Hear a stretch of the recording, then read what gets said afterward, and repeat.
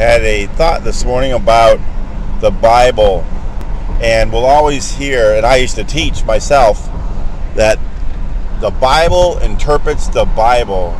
If I want to understand this portion of the Bible, well, some other portion of the Bible will explain it. And uh, like I say, I always adopted that, agreed with that, and never really thought about it.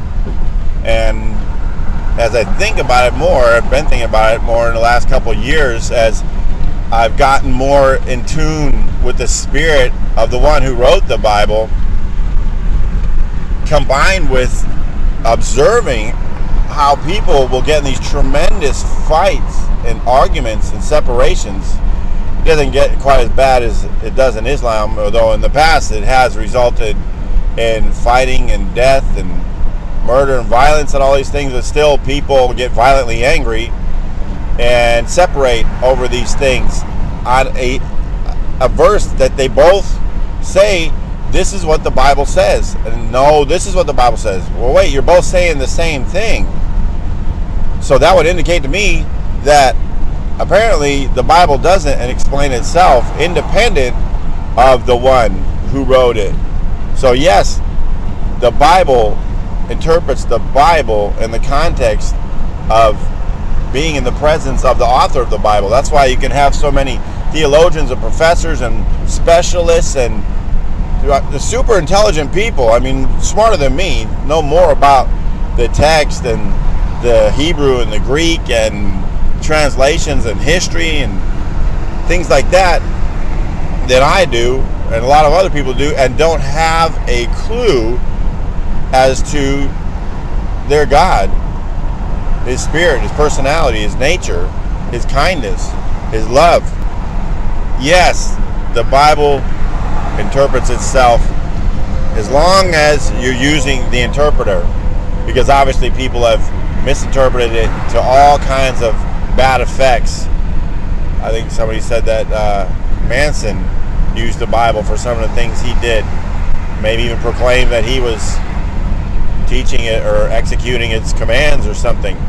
So I don't know if I'm going to give this a title that's controversial because people get so upset if you simply ask a question. If I said something like, should we be guided by the Bible or something, I'm sure people would just blow it off instantly. I ain't even going to look at that, or they'd be very angry and respond so to the title, which I've also been guilty of doing in the past.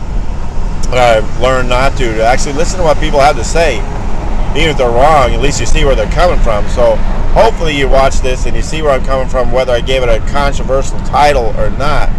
Because it's all about the Spirit. It's all about the Spirit of God. It's all about the Spirit of your Father and getting to know Him. Because if you don't know Jesus, then you're just doing stuff that anyone can do.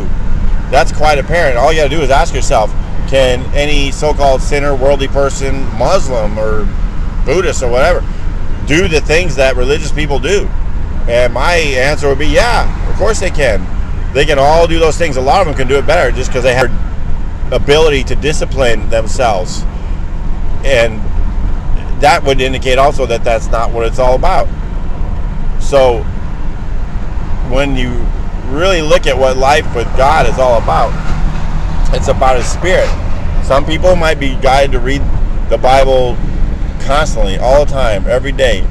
Some not so much. That's not the point. That's a man-made thing to say that you should read five hours a day, or right as soon as you get out of bed. And I'm not even necessarily saying that's a bad thing. If that's where you are, that's where you are. I'm simply saying that use the Bible for what it is. Use it for what it was given for. It was given as a tool to get us closer to our God.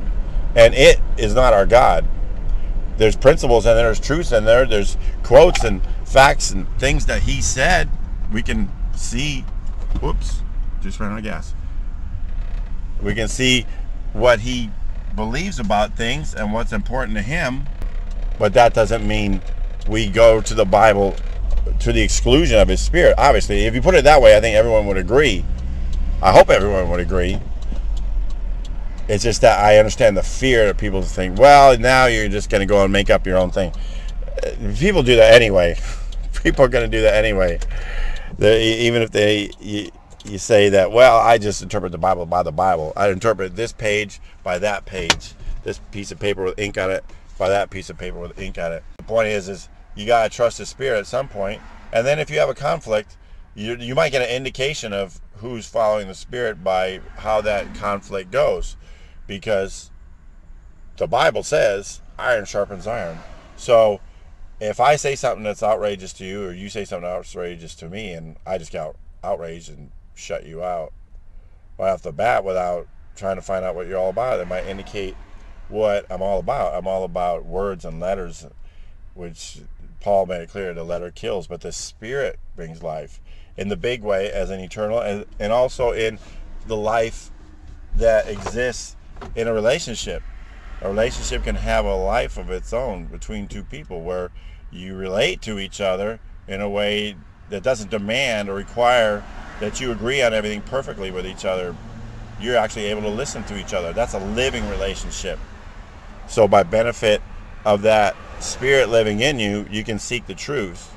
Even though you feel strongly and disagree strongly about something, you can consider, well, maybe I'm not listening to the spirit on this one. But if you have the the idea that, well, no, I know exactly what the Bible says and I will hear nothing otherwise, I think that indicates where you're coming from. And again, I've been there. I'm not pointing a finger.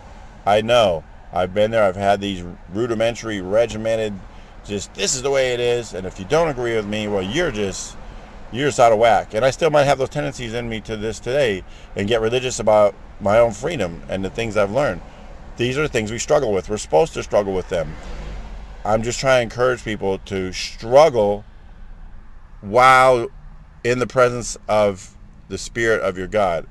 I'm not saying that's something new and no one ever thought of it, and I'm sure most people think they do that anyway, all the time.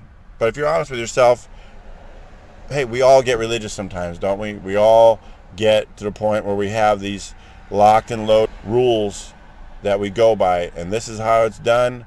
And if you don't fall in line between these parameters of how it's done, well, then you're just wrong. And like I say, I've lived that way, but I, I didn't learn much. I didn't learn much. I, I didn't really get to see where people are coming from. Now I can see where people are coming from more. And it's interesting because sometimes they're coming from where I used to come from, and I seem to have less patience for that. It's funny. I should be more sympathetic, but that's another thing about my growth. Anyone's growth, you're going to grow, and you're going to get stubborn in certain times. You're going to get less tolerant at certain times. You're going to be more tolerant certain times, or maybe more accurately, in certain circumstances with certain people regarding certain ideas and certain thoughts. So, I, I, again, this is not an attack. This is just an encouragement to read the Bible in the way it was intended to be read, not as our God, but as a tool to get to know our God. And if you do it like that, then you'll get to know Him, and you get to know the Scriptures even better than you ever could than just reading them as a theologian or a professor or some genius who wouldn't know God if he stepped on their big toe. And that's my thought. In Jesus' name, amen.